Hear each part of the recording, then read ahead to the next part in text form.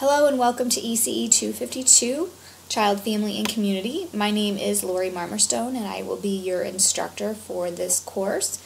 I'm excited to have you on class and again, welcome to the class. If you are watching this short video, then you made it to the screen that you see in front of you.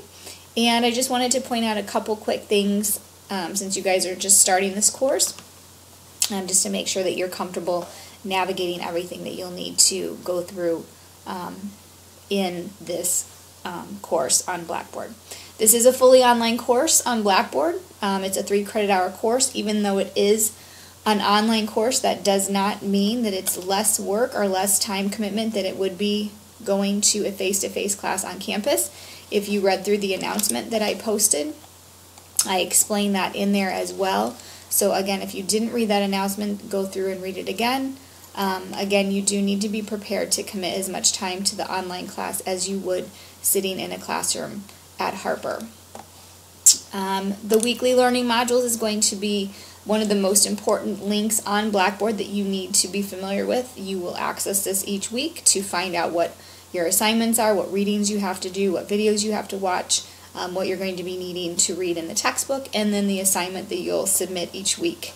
Each week we will be submitting what I'm calling content application assignments, and this is so that I am able to assess your knowledge and understanding of the material that you're reading and um, the videos that you're watching on Blackboard and being able to apply that understanding to um, an activity. Those are quick one page reflections and they are worth 15 points, so it's not something that should take you a long time to complete. But again, it's just a way for me to track your understanding and make sure that you are um, understanding the material that is being presented in the course. Um, since you were able to find the orientation module, I just wanted to go through a couple of the things here.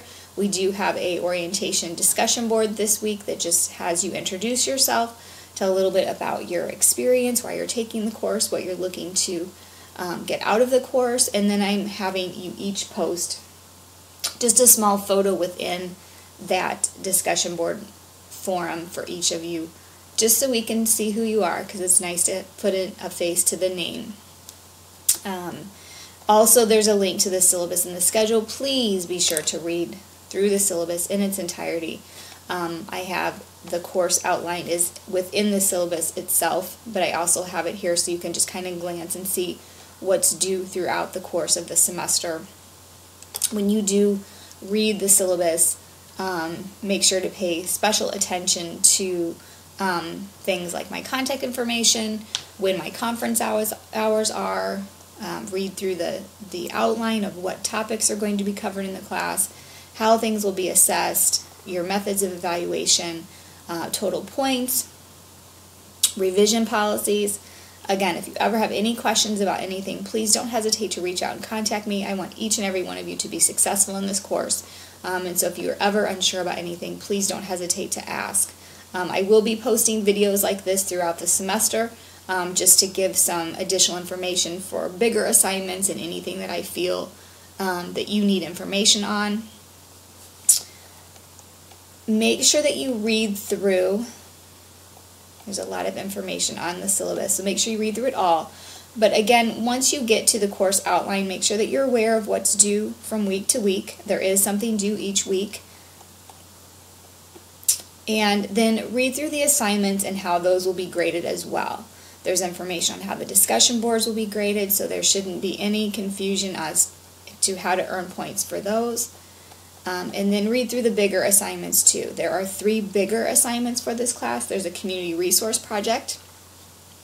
As these assignments get closer to their due date, I will post additional information to help clarify the expectations and how you need to submit those assignments and what needs to be included in those assignments. But I do want you to read through them at the beginning of the semester just to be aware of what's coming down the pipeline.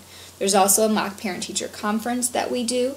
Um, this is an online course, and so one of the things that I will give as an option is to meet face-to-face -to, do our mock parent-teacher conference. And again, as that date comes up, which it isn't until towards um, the later part of the semester, I'll give you more information about that as well. Um, And then the final big assignment is called the Culturally Responsive Practitioner, and this is a research paper. Um, it is kind of extensive and it, it does include like a, most of the information that we're learning throughout this semester. So this is a nice culminating assignment just to re- respond to, reflect, apply all of that information that you have been gaining throughout the course of the semester. Um, there used to be observation hours for this course, but because we revamped some of the assignments, there is no longer any observation hours for this course, so you are welcome. And then the final thing that I just wanted to point out for this orientation module is the syllabus quiz. Syllabus quiz, quick, easy 10 points. You can take the quiz as many times as you need to to score 10 points. True false quiz, but what it is is just a way for you to kind of self check, make sure that you're reading that syllabus, you're aware of certain key things. Um, even though instructors tell students to read the syllabus every semester, and we we try to stress the importance of that, we know that students don't tend to do that, and they wait until an assignment comes up and then they skim through things. But I want you to be aware of the expectations of this course, where you can find certain resources at the college, what the course outline is, and what the assignments are and those expectations as well. Um, so please make sure that you read that, read through it a couple times, then take the quiz um, and get your first 10 points for the course. That should be really easy. Again, clicking on the weekly learning modules here, you will have everything for the entire semester right here at your fingertips. So every module for each week of this 16 week course is already on here all the resources, all the articles, all the videos, all the assignment links. So you're free to work ahead. If you're a student that likes to do that, you are free to do that.